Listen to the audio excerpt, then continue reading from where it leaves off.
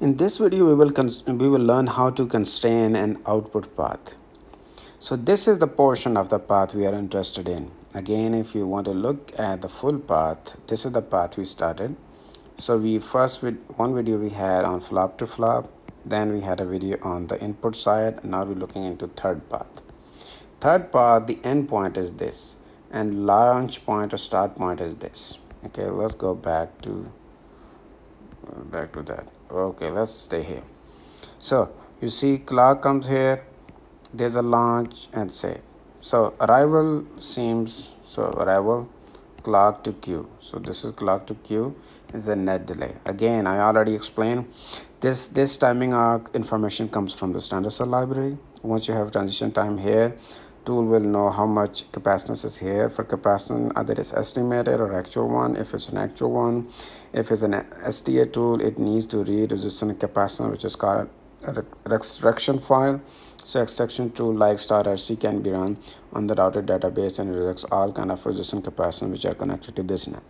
Then uh, STA tool will um, calculate what is the effective capacitance single capacitance which can represent um, all of the parasitic so once you have this capacitance and this transition time, tool will calculate the delay from cell lib. Now assuming there is already a transition time coming here, which previously, so assuming this is, where is it? Where's the transition time? Okay, this thing is copy. I'm assuming this thing exists I should actually do this set oops. Set input transition. Whatever value let's say 50 get port. I'm also assuming we have uh, this clock definition there too. Oops. So too big. Let's make it smaller so once we have these two then we have we will know okay at least this one for the transfer we don't need. And also I think I will look I will um, open a timing report in the next video. Once we have now three type of paths constraint I will open up a flop to flop timing report and input path timing report and output timing report. And you will see that okay tool needs a starting edge. Typically starting edge is zero. So if you have a uh, if you have this waveform right you assume this is zero and this is the period okay? So launch is always zero and capture is the period of the clock. That's what I mean. So even though we say no clock period needed here but oops it's, it's actually it's actually needed and it's zero. Let's remove that. Okay so with this one and this one we have this this timing arc and here okay what about the required time? We need a period. Okay for the period so we have this definition. Hmm actually hold on. So just like input delay we were assuming the path is driven from another block. In this case maybe this signal is leaving the chip or leaving your block within the chip and entering another block on the chip. Let's assume this goes to another block on chip.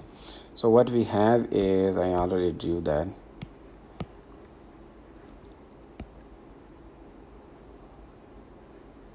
Okay, so let's say we have this scenario. This signal enters another block, goes to its port, let's call it into port, goes to maybe another OR gate and then goes to a capture flag with FF3.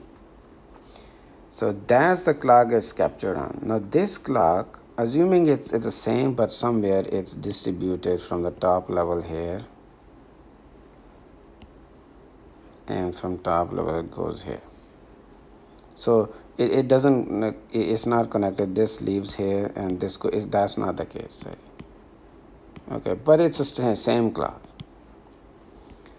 Now, question is, you need, and we have, the, this one is not visible, this one, but this impact, this delay need to be modeled somewhere. And then there is a setup time here that is required and so first we need to mention this delay so where you can say so t arrival is tck to q and this is t net. One way is that this delay here all the way to d you mention as part of arrival. Okay i think that would be fair.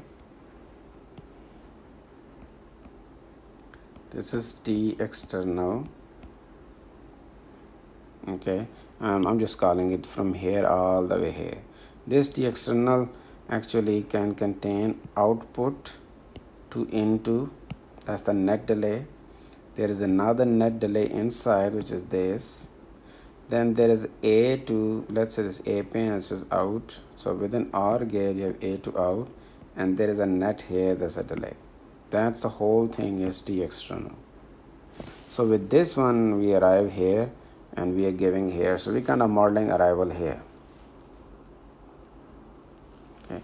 In that case let me write that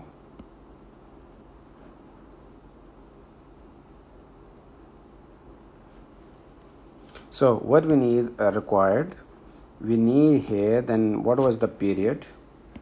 Again we are sitting inside we're just modeling this thing. So we are assuming on the capture side there's a period. For this clock which doesn't exist in your design even though we know that top level is the same connection but this guy I mean this block here doesn't know that it's getting the same clock. We need to tell it so it needs the clock definition. So this clock just like the input delay side do you remember that? We define this clock.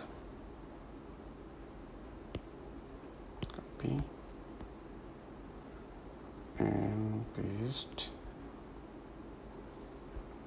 So what we need we define a virtual clock. And we just oh yeah sorry we, we can give it a uh, name. I missed that in the previous video. Okay, so we create a virtual clock and when we gave an input delay in this case it's output delay.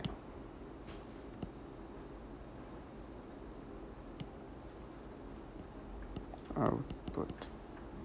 It's its output at the output oops it, it is at the output port. Okay so at output delay 100 clock we already defined. So now it knows the period. And what about this setup that's here? This is also something we need to ask another block owner or the full chip guy because that guy will have visibility into this and that.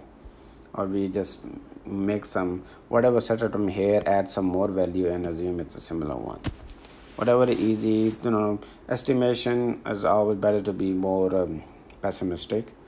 Um, so you can what if you were using 50 maybe use 100 here worst case and just model that. So once you have this setup um, but this setup how will you apply this setup?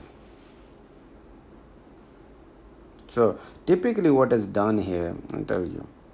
Uh, typically what is done here um, you can do this. You can put combine this with this right? In this case you are only left here with period and this setup is kind of added delay here right? Or what you do is you typically in the reports what is done here this thing is brought here.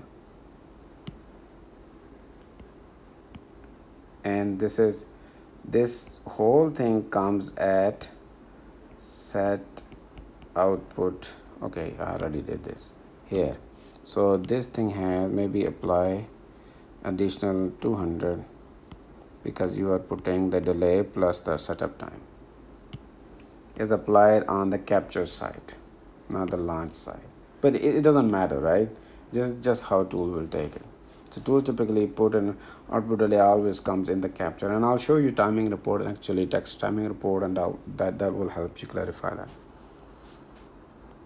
Okay, I think now we have, um, oh yeah, yeah, one other thing. Even though we, we applied a delay here but in order to estimate here the capacitance we also need to know what kind of capacitance this net at least is seeing right? So this one is applied as a load here. So again when you think of that you don't have any anything here. So just assume there's nothing like that. I'm just bringing it back. So what you need to do oops. What you need to do is have another command here set load let's say is 20 femtofarad and say get port out. So remember on the input side here you need to apply a transition time but on the output side output port you need to apply a capacitance. Then tool will consider this capacitance capacitance net and then it will model it correctly. Otherwise this otherwise this assumes there's no capacitance connector which is not the case. I mean even though we have included the delay but we need to include capacitance I think with these all things now our output path is constrained. So this concludes our three type of timing paths. Um, input timing path output timing path and flop to flop timing path. There is actually one other path that I'm, I'm thinking previously. I was thinking not to include but probably better to include. That's called feed through path and that I will include in the next video. I think that's it for now. See you in the next video. Bye